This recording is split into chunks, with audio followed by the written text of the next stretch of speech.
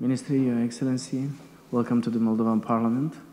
I hope you had a good and productive day. I saw your agenda quite full of the activities, and you just, I believe you just finished with the press conference with Minister Galbur. Very good.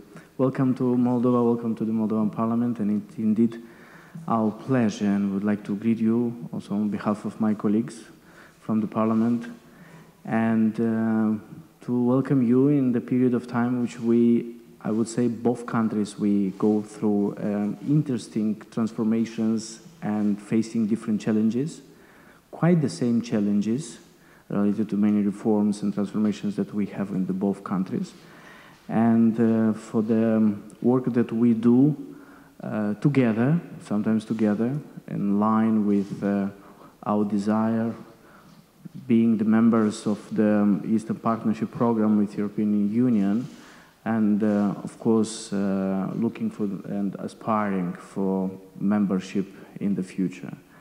As you may know, we had some uh, initiatives and specifically due to also um, my counterpart from the, from the Georgian parliament, Mr. Irakli Kobakhidze, and by the way, uh, send him my best regards. Uh, we came also with a very good initiative. Actually, he came with a very good initiative, and we we uh, we supported also with the Ukrainian colleague, Mr. Parubiy.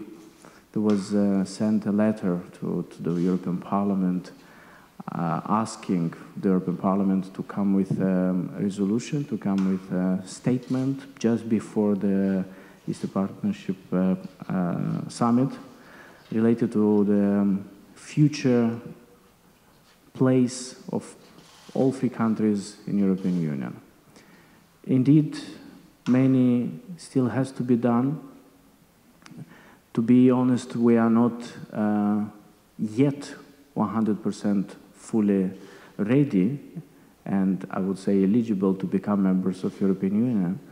But the most important is that we know how to do and uh, there is a desire and there is a political will of so welcome to the Moldovan Parliament, welcome to Moldovan, and hopefully you had a, and you still have a very good day with productive discussions.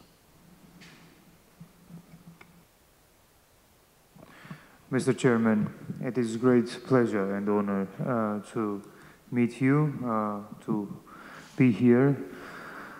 This uh, is my first visit uh, in this capacity as a, foreign minister I was here uh, last time, it was in 2015, uh, at that time as a Deputy Minister of Economy.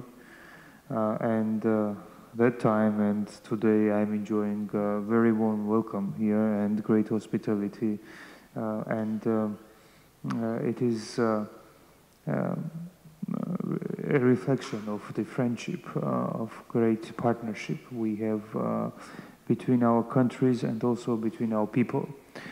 Uh, the, we've gone through many difficulties during this uh, uh, 25 years. Uh, we, uh, we are celebrating 25 years of diplomatic relations.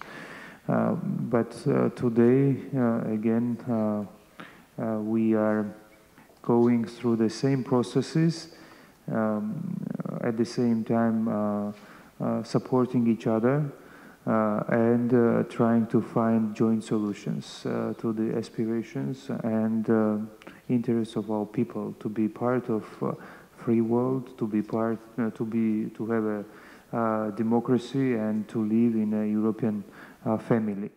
Good luck.